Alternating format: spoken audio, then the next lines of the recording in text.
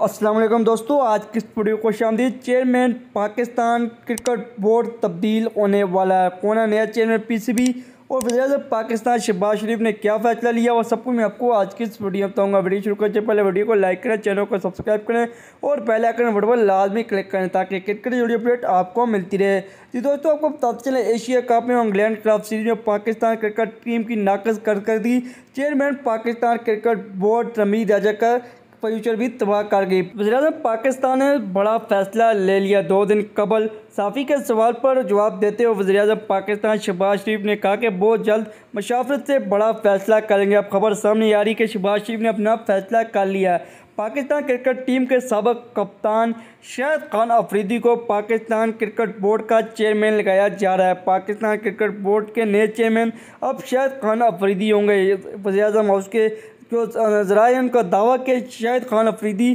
शहबाज शरीफ के काफ़ी ज़्यादा फेवरेट है और उनकी तो कि किसी खिलाड़ी को जो है चेयरमैन पीसीबी लगाया जाए, इसलिए शायद खान अफरीदी का नाम पर गौर किया जा रहा है और कहा जा रहा है कि शायद खान अफरीदी नए चेयरमैन पाकिस्तान क्रिकेट बोर्ड होंगे। कि दोस्तों, आपको लगता है कि चेयरमैन पी शायद खान अफरीदी होंगे? कमेंट सेक्शन में ज़रूर बताइएगा।